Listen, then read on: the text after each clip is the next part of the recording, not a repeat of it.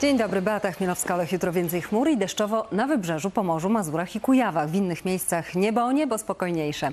Od 16 stopni na Suwalszczyźnie do 21 na Lubelszczyźnie i Roztoczu. Zaczynamy Teleekspres w czwartek, 17 października. Zaczynamy od zmian dla kierowców. Już niedługo kulturę na drodze zastąpi obowiązek. Każdy kierowca będzie musiał przyswoić jazdę na suwak, czyli wpuszczanie samochodu z kończącego się pasa drogi. Obowiązkiem będzie też utworzenie korytarza życia dla pojazdów na sygnale. W środę wieczorem zakończyło się ostatnie posiedzenie poprzedniej kadencji Sejmu. Dziś pracę zamyka Senat dziewiątej kadencji. Przed nami inauguracyjne posiedzenie, wybór marszałków oraz utworzenie rządu. Przed Sądem Okręgowym w Łodzi rozpoczął się proces mężczyzny uznawanego za pomysłodawcę tzw. skoku stulecia, w którym 4 lata temu skradziono 8 milionów złotych. Mężczyźnie grozi 10 lat więzienia, nie przyznaje się do winy.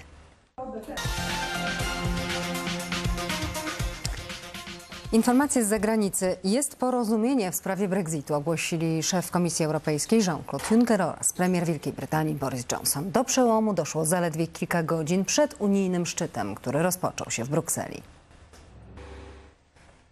Nie żyje sześcioletnia dziewczynka, która w weekend trafiła do szpitala klinicznego w Poznaniu. Dziecko zmarło z powodu inwazyjnej choroby pneumokokowej spowodowanej przez paciorkowce. Za chwilę rozgrzewające rytmy i Carlos Santana. A co jeszcze u nas w programie? Proszę spojrzeć. Przyjaciele mówią o nim żelazny Jurek, a jego mięśnie z pewnością twarde są jak stal. Z okazji swoich 71 urodzin emerytowany WF-ista Suwałk wykonał 100 tysięcy brzuszków. Zajęło mu to 39 godzin i 2 minuty.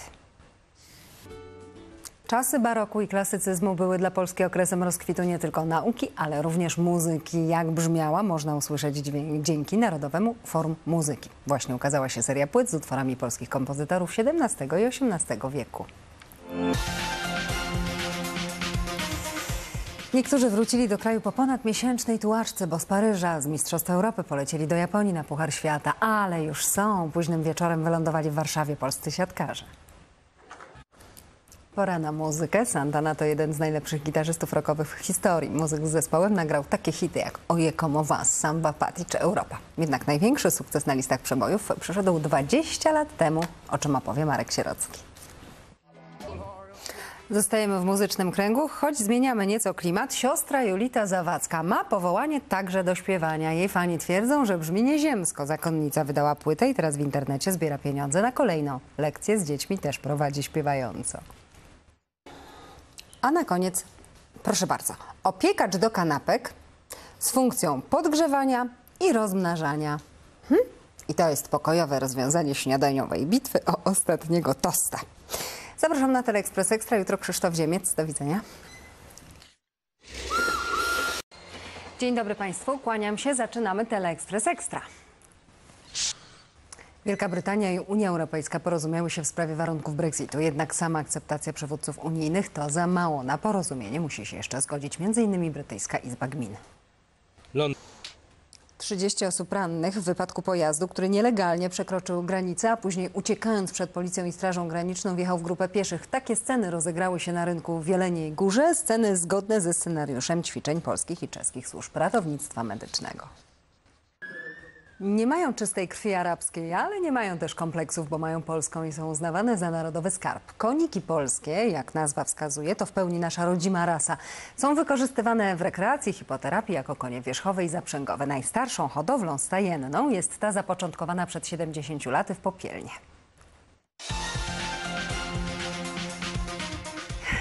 Teraz będzie kosmos, bo to kolejna misja na Marsa, w której Polacy odegrają ważną rolę. Naukowcy i inżynierowie z polskich uczelni wraz z amerykańskim gigantem powietrznym zbudują satelity, które zbadają skład atmosfery czerwonej planety. Tańczyć jak Travolta, w dodatku w skórzanej kurtce z filmu Grease. Ach, marzenie. Można je spełnić, na przykład podczas aukcji przedmiotów z kultowej produkcji. A co jeszcze u nas w programie? Jest na liście Światowego Dziedzictwa UNESCO. Teraz śmiało może się znaleźć na Państwa liście punktów do odwiedzenia. Nadarza się ku temu okazja. Kościół Pokoju w Świdnicy zaprasza na koncerty z okazji okrągłej 110. rocznicy swoich organów. Każdy region ma swoje rarytasy w ekstrasądzie. Marta Guzel sprawdzała, jakie są Państwa ulubione lokalne przysmaki. Zbiera policyjne czapki, naszywki i mundury z całego świata. Aspirant Artur Łobuz z Oławskiej Drogówki ma tak ogromną kolekcję, że w głowie i na niej się nie mieści. Zorganizował więc wystawę w komendzie. A my o kamieniu, a dokładnie o pogodzie w kamieniu opowiemy teraz. Proszę bardzo, jutro. Jego imiennik dokonał rzeczy przełomowej. To na jego pokładzie ojcowie założyciele przybyli do Ameryki. Współczesny statek o nazwie Mayflower. Niebawem powtórzy legendarną trasę, ale to już zupełnie inna bajka. Trzykadłubowiec jest bezzałogowy i wypłynie z misją naukową. A teraz Holandia z akcentem australijskim. W Apeldoorn trwają Mistrzostwa Europy w kolarstwie torowym. Pierwszego dnia Filip Prokopyszyn zdobył dla Polski brązowy medal. Startował w wyścigu eliminacyjnym, który nazywany bywa także australijskim. Pora na informacje muzyczne. Jutro w Jeleniej Górze rusza Krokus Jazz Festival. Podczas trzech dni imprezy wystąpią polskie i zagraniczne gwiazdy muzyki jazzowej, a wśród nich amerykańska wokalista Hailey Tuck, jej rodak trębacz James Carter, niemiecko-amerykański zespół Immigration Booth oraz polski mistrz kontrabasu Wojciech Mazolewski ze swoim kwintetem. A teraz już Marek Sierocki w rozmowie z polską wokalistką. Cześć Marku.